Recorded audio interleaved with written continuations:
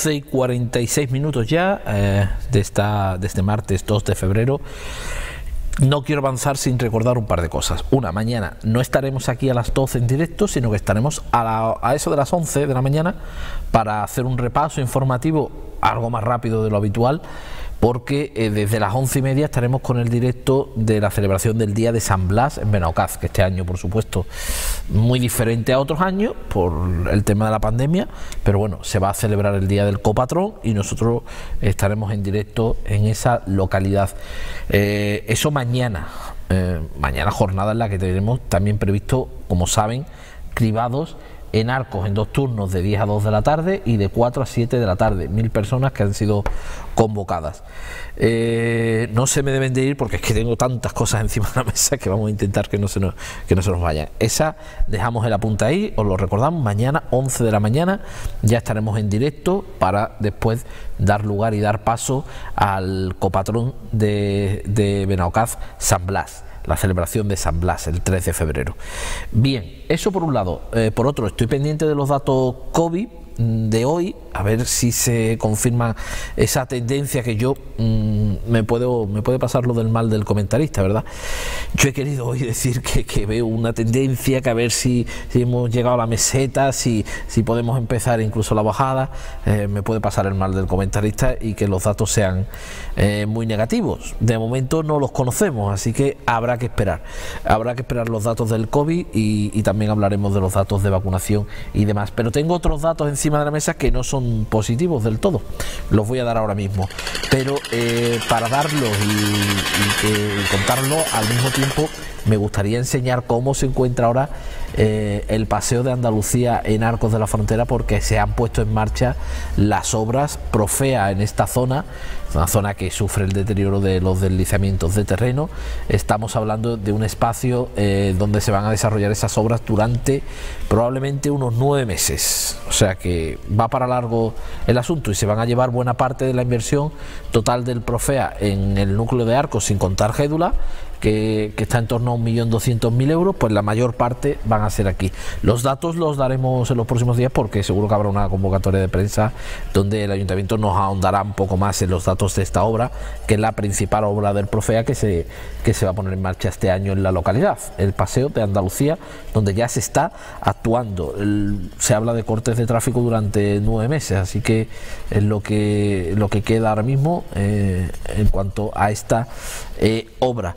Pero aprovecho que tenemos ahí gente trabajando para contaros los datos del paro en la comarca de la Sierra porque eh, hemos cerrado este mes de enero con 16.170 parados, lo que supone una subida de 146 parados más que en el mes anterior. Es decir, hemos pasado de 16.024 a 16.170, una subida de un 0,91%. No es un dato positivo porque no lo es que suba el paro con el ya muchísimo paro estructural que tenemos en la comarca de la Sierra pero también hay que tener en cuenta la que está cayendo, los negocios cerrados en la mayoría de los pueblos, los comercios, eh, si están cerrados, pues evidentemente no solo el personal actual puede estar en ERTE, sino que no se necesitan refuerzos, y si normalmente tienes a alguien trabajando, pues te estás apañando como autónomo, los bares cerrados, o sea, las medidas pues es lo que tiene, mucha gente pide medidas de, tipo... Eh, económicas, eh, medidas que tienen que ver con, la apertura de establecimientos y demás,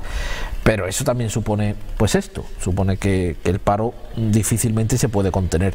Eh, lo peor de los datos es que solo dos municipios se encuentran con el mismo paro que el mes eh, anterior, cinco han registrado bajadas y son el dato positivo, y el grueso 12 han registrado subidas. En concreto hablamos de Alcalá del Valle, donde hay 24 parados más, Algodonales con 13 parados más que en el mes anterior, El Bosque con 9 más, El Gastor 10 parados más que, el mes anterior, Grazalema una subida de 31, Olvera 61, en Puerto Serrano suben 5 el número de parados, en Setenil 39, en Torrealáquime 18, dato duro para un pueblo pequeño, en Ubrique 43 parados más que el mes anterior, tiene 2.689, Villa Villaluenga del Rosario 42 parados en total, dos más que en el mes anterior, y Zahara de la Sierra 7 parados más que en el mes anterior.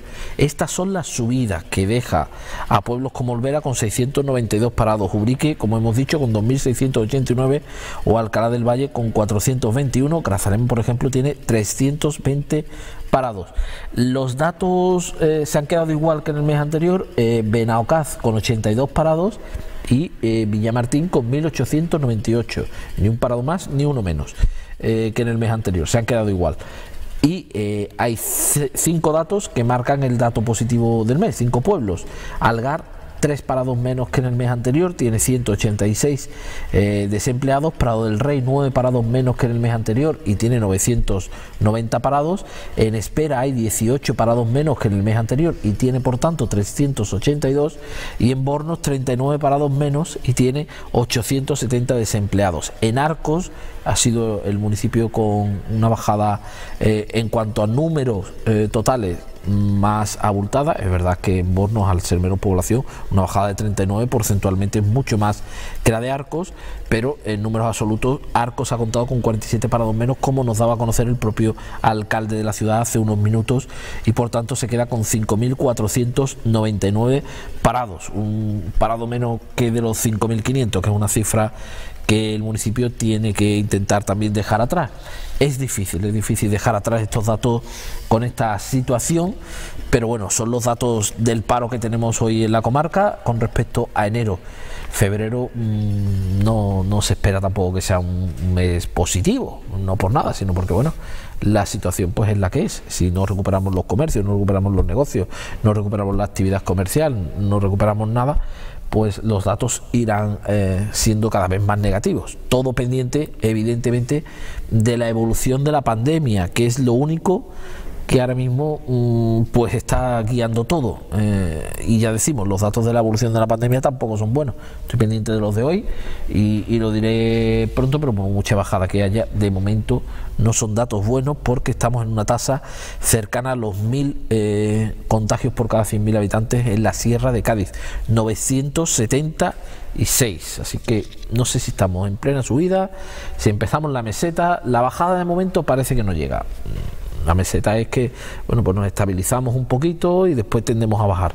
La bajada de momento no llega. En el momento en que empieza a llegar, pues tardará dos, tres semanas eh, en verse cómo se baja todo y la traducción en UCI, en, en hospitales, tarda un poco más. Porque bueno, siempre hay un retraso lógico, ¿no? Se, contrae la enfermedad, hay un, un periodo y lo que son contagios hoy, cuando se empiezan a notar en los hospitales, son dentro de 14 o 15 días. Entonces necesitaremos empezar a bajar mucho para que los hospitales mm, casi un mes después empiecen a notar también esa bajada. Esperemos que eso sea pronto, porque al final es lo que preocupa que pueda haber esa saturación hospitalaria. Ya explicaba yo el tema de la saturación. No se trata de que los pacientes estén tirados por los suelos, sino mm, limitación de recursos, limitación de personal, eh, atención a otras enfermedades. O sea que eso es lo que, lo que hay también. Eh, como digo, todo el día pendiente de los datos, ¿verdad? Me encantan los datos, pero algunos ya dan dolor de cabeza, la verdad. pero es lo que hay ahora mismo. Datos de paro son negativos, vienen de la mano obviamente del tema de la pandemia. Esperemos que esto mejore de aquí al verano, será un momento clave. Eh, datos que son negativos y que estamos pendientes de una vacuna eh, y los datos de las vacunaciones pues de momento tampoco están siendo del todo buenos, pendientes de que lleguen las últimas dosis eh, a las comunidades autónomas. No están contabilizadas las últimas dosis y bueno, eso también es un dato positivo se habla de que, de que bueno, hay eh, envíos pendientes importantes, pero pendientes de todo eso, podemos decir que en España hay eh, vacunadas 387.892 personas con las dos dosis y eso es solo un 0,76%. Y queremos llegar al 70% en verano. Complicado. Eh, hay 893.477 personas esperando una segunda dosis, es decir, el 1,91% de la población. Es decir, en total el 2,67 ha recibido una o dos dosis. ya lo digo, para el 70% queda mucho. En Andalucía los datos mm, son un poco mejores en cuanto a las dos vacunaciones que hemos recibido, un poco peores en la global. Se ve que se ha distribuido de otra forma con respecto al Estado. Hablamos de 78.640 vacunados que ya tenemos, el 0,9% de los andaluces ya tienen las dos dosis de la vacuna y el 1,63, 142.512 están con una sola dosis puesta, es decir, el 2,50 ha recibido una o dos dosis. Datos muy lejanos, muy lejanos todavía a lo que, a lo que pretendemos. Eso supone que hay eh, pues todavía 142.000, eh, como decimos, esperando esa segunda dosis y el, eh, y el gobierno andaluz tiene 31.000 vacunas, pero es verdad que ayer una llegada de 85.000 vacunas que todavía no están contabilizadas los datos oficiales, es decir, mm, relativamente fácil garantizar las segundas dosis, el plan de vacunación en eso parece que no va a fallar. Esperemos que, que sea así, porque la pauta es la que es. Eh, dicho esto, voy a dejar estas cuestiones de un lado, pendientes de los datos COVID y lo vamos a, estar pendiente como no, y nos vamos a ir hasta la localidad de Bornos, porque hoy es el día de los humedales. Y, vamos a hablar con el alcalde de la localidad que, que, ha tenido, bueno, vamos a hablar, vamos a escuchar una rueda de prensa, una atención mediática que ha tenido el alcalde de la localidad, Hugo Palomares, en la que hemos estado nosotros presentes hace muy poquito y hablaba así el regidor bornense. Estamos en la cola del embalse de Borno, en el paraje natural cola del embalse de Borno, porque hoy martes, día 2 de febrero, eh, se, conmemora el Día Internacional de los Humedales y esta zona es uno de los humedales, junto con, eh, el embalse de Borno, la cola del embalse de Borno, forma parte de los humedales. A partir de, de estas fechas, el Ayuntamiento de Borno va a iniciar una campaña y va a trabajar en elaborar un proyecto que ponga en valor esta zona, ya que el turismo natural, el turismo de de, en contacto con la naturaleza, el turismo ornitológico, como todos sabemos, está de moda y es uno de los, de los motores que turísticamente queremos potenciar desde, desde nuestro ayuntamiento. Como acción significativa o acciones significativas que, que vamos a hacer durante el día de hoy y hemos estado haciendo estos días, desde el ayuntamiento le hemos pasado material a los centros educativos para que puedan trabajar esta cuestión con los más pequeños. Vamos a, lanzar un vídeo divulgativo hecho a través de, la, de turismo para que los vecinos de Bornos y Coto de Bornos sobre todo puedan, puedan conocer pues las maravillas naturales que tenemos en nuestro municipio y también como habéis podido observar en la parte de, que está por la zona de la cartera hemos limpiado de escombros pues la zona que había, escombros y, el quitrán. Eh, todavía queda mucho por limpiar, lo vamos a ir haciendo a lo largo del año, pero era una acción simbólica la que, la que hemos querido hacer. A partir de estos momentos hago un llamamiento a todos los vecinos que aquí no se tienen escombros, ya estuvimos limpiando en la carretera vieja y estamos limpiando en otra zona de interés natural de nuestro municipio. Esta es una zona de especial interés de nuestro municipio desde finales de los años 80, en concreto desde el año 89, con lo cual hago un llamamiento que quien tenga pequeños restos de escombros para ese estar punto limpio que es completamente gratuito y lo pueden llevar. Así que a partir del día hoy, el día 2 de febrero, que es el Día Internacional de los Humedales, pues vamos a empezar a trabajar para que en los próximos años podamos ver esta zona eh, puesta en valor, sea una herramienta de esparcimiento para todos los vecinos de Borno y también un atractivo turístico para los vecinos de, las demás provincias de, Andalucía que puedan venir aquí y disfrutar de, los encantos de esta, de esta zona.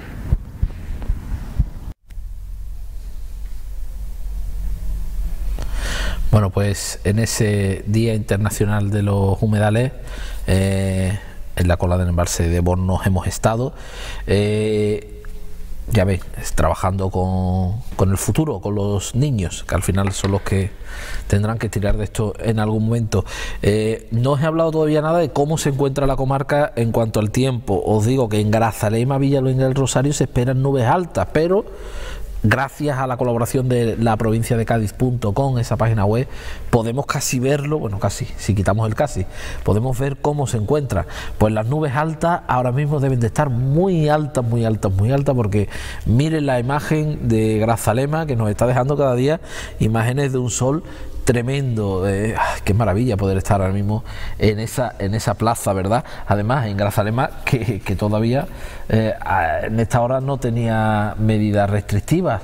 Eh, ahora sí las va a tener, lógicamente. Ahora sí, sí va a ser de los que va a cerrar sus bares, a esas medidas restrictivas me refiero, y por tanto, pues mañana desaparecerán esas terrazas que hay en la zona eh, porque estarán cerrados durante 14 días. O sea que, que dentro de, de, bueno, de las próximas horas, cuando visitemos Grazalema, de esta visita virtual que le hacemos, no veremos esas terrazas porque el municipio, ya saben, cierra eh, en cuanto a hostelería y negocios no esenciales durante 14 días por haber superado la barrera de los 1000 en la jornada de ayer. Eso en cuanto a Grazalema, que esperan unas temperaturas de, que van desde los 6 grados de mínima hoy a los 14 de máxima. Yo creo que ahora deben de estar en, en casi en el momento de los 14 por el aspecto tan magnífico que, que presenta el municipio. Eso en Grazalema, pero me voy a ir hasta Villaluenga del Rosario, muy cerquita, y donde entiendo que todo será similar. La previsión también era lo mismo, eh, nubes altas que también se ve que deben de estar muy altas, por no decir que, que no están, porque también tenemos el sol aquí en Villaluenga del Rosario y las temperaturas que se esperan son de 7 en grados de mínima y 17 de máxima. Villaluenga no tiene restricciones, no tiene restricciones, solo tiene, bueno, y hasta ahora tenía cero casos de COVID, pero tiene un caso de COVID ahora mismo eh, activo esperando los datos de, de hoy, por supuesto, y, y, no tiene ninguna restricción aplicada en cuanto a cierre perimetral o, cierre de negocios, por tanto, y de hostelería. Es verdad que, bueno, cuando ya todo está cerrado perimetralmente, excepto cuatro pueblos, decir que esos cuatro pueblos no están cerrados perimetralmente, un poco, bueno, solo se podría mover entre ellos en la comarca o en otros pueblos de la provincia que no estén cerrados perimetralmente, que cada vez son menos, con lo cual es difícil, difícil dar ese dato. Esos son dos apuntes del tiempo, eh, iremos viendo más y tendremos también espacio para más a lo largo de, este programa, eh, un programa en el que ya saben estamos tratando de atender a los últimos datos en cuanto al COVID pero que de momento no, no, lo tenemos.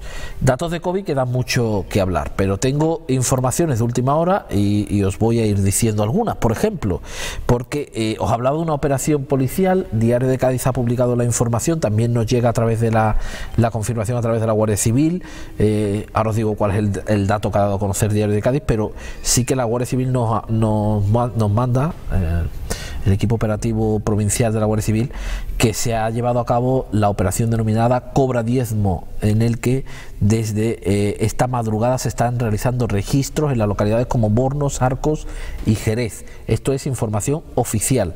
Todo ello para poner a disposición judicial, eh, judicial a presuntos integrantes de una organización criminal que se dedicaría a acumular grandes cantidades de marihuana para su venta al por mayor en distintas localidades del norte de España, así como en distintos países europeos.